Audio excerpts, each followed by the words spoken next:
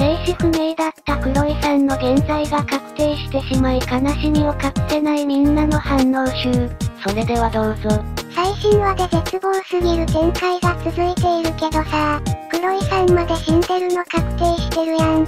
死亡未確定って話じゃないの。もうやだよ。ファンブックにも生死は特に言及されてなくてもしかしたら生きてる説みたいなのあったけど普通にぬるっと死んでてくさ。おそらく死んでるんだろうな。って思いとでもやっぱり死んでいて欲しくないって気持ちが交錯してたから確定したのはまあ、嫌だけど助かる。正直出す場面を失ってたから、ここで死亡を確定させたって感じは否めないけど、まあこのまま不明で結局生きてたの？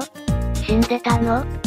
てなるよりはいいか。そもそもここで死んでなくてもどこで出てくるのって話だからな。完全に忘れてた存在でもあったから、こんなんいたわってなったわ。生死不明にしてた理由はわからんけど、どっかでなんかしらで登場しようと考えてたのかなとりあえず伏線っぽく貼ったって感じなのかね。漫画買ってとりあえず伏線貼っといてみたいな人は結構いるらしいし、呪術はその場で結構展開をガラッと変えるタイプだからとりあえず不明にしてただけでしょ。今週さんが殺さなかった？って言われてるから生きてるんじゃないかなと思ってたけどな。やっぱ死んじゃってたのか。悲しいね。いや今週さんが言ってたのは、沖縄に運ぶ時の話をしてるんでしょ。パパブロが殺した後じゃなくて高専に戻ってくる前の話をしてるんだと思うよ。てか、このレベルの話を読解できないのやばすぎる普通に物語読んでたらわかるくないか？呪術ファンの性癖を歪めまくったキャラの一人だと思うこいつのせいで、かなり限定的なキャラに対しての性癖というか新しい扉が開いた感じはある。マジでそれ。黒井さんは今まで出てきた女性キャラの中で一番マニアックな要素が詰まってる素晴らしい女性だと思う。本当に死んでるって聞いて悲しくなったよ。こんな素晴らしい三白眼のメイドなんて詰め込まれたキャラは今後出てくることないだろうから、ここで最後の登場だとしてもまた見れて嬉しかったよ。三白眼メイドっていうのが素晴らしいよなしかも極端に冷酷とかじゃなくて、結構常識人というか雰囲気も柔らかいからそこの。この人の尻に敷かれたいって人がマジで死ぬほど過去編放送時は多い印象で、またきしょいオタクが出てき始めてるなと当時は思ってたけど、まさかまさかの俺もそっち側になった。ようこそこっち側へ。黒井さんはいいぞお前もメイドにならないか。メイドになれ。マジでこの人を殺したパパブロの罪はでかすぎるしかも、死んだか死んでないのかとかの判断をパパブロも分かってないのがマジで不愉快で好きだ。パパブロが黒井さんを殺さない世界線が仮にあったとしても、それでもきっとアマナイちゃんが殺されてしまったことに一生苛まれると思う。そうなんだよな。仮にここで生きてたとしても下等の闇落ちとか、の顛末を知った時に全てを勝手に一人で抱えてしまいそうな感じするんよな。アマナイはダゴンとして、呪霊として復活してるって説はあるけど、黒井さんもどっかで呪霊として登場してたりしないかな。さすがにそれはないでしょ。アマナイちゃんとも共通点が多いだけで、確定してる要素ではないしそんな誰でも彼でも呪霊化させることはない。アマナイのダゴンはどうなんだろ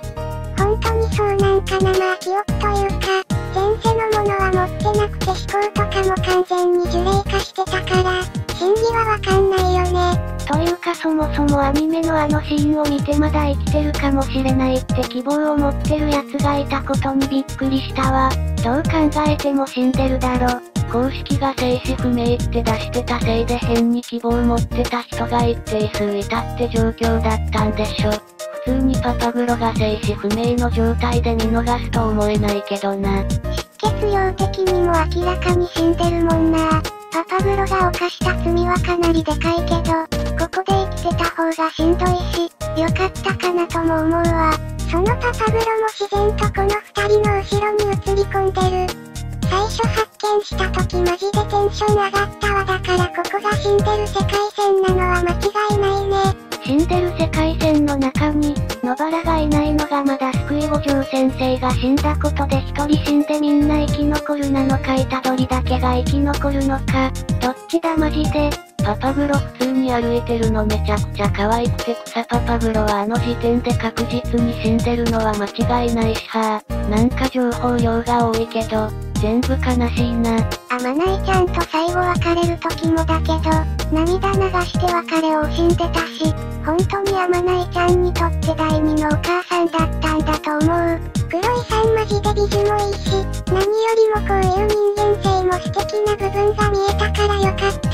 マリオカートも強いし庶民的なとこもあってマジで好き。このメイドさんのこと嫌いな人なんていないでしょ。あまないちゃんがどうかまで自分の自我を保ってなんとか周りと楽しくやれたのも絶対この人のおかげだし、後に自分の家族を秘術師で猿だからって理由で自分の手で殺した下等が、あなたが家族だって黒井さんに言ってるところもなかなかエグいよな。あなたが家族だのシーンは今見返すと本当に結構グッとくるものがあるよね。でも何より下等のその言葉は黒井さんにとってめちゃくちゃ嬉しかったと思う。呪霊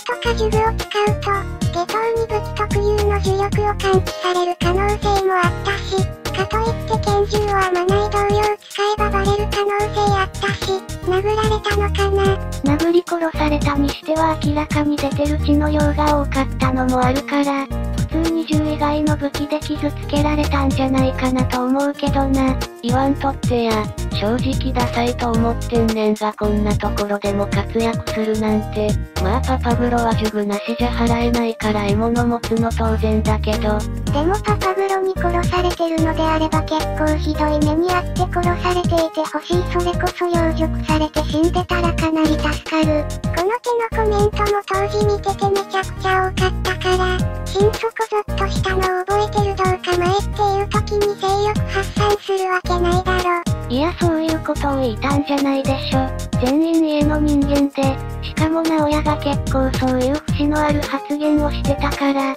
パパグロもそうなんじゃってことを言いたいんじゃないのか？パパグロ全員家嫌いだしさすがにそっち側に傾くようなことはないと思うけどな紐だから可能性はないことないけど。正直過去編で水着シーンの時にこの人のビキニ姿もって思って期待してたけどちゃんとつつましくされていて心が痛くなった。黒井さんの水着姿はかなり見たいな。絶対に合うもんな。ていてほしいそれを見てありがとうと言わせていただきたい。今回は以上になります。このチャンネルでは話題になったアニメや漫画についてのみんなの反応を紹介しています。動画制作のモチベーションになりますので興味を持った人は良ければ高評価チャンネル登録コメントをよろしくお願いします。それでは最後までご視聴いただきありがとうございました。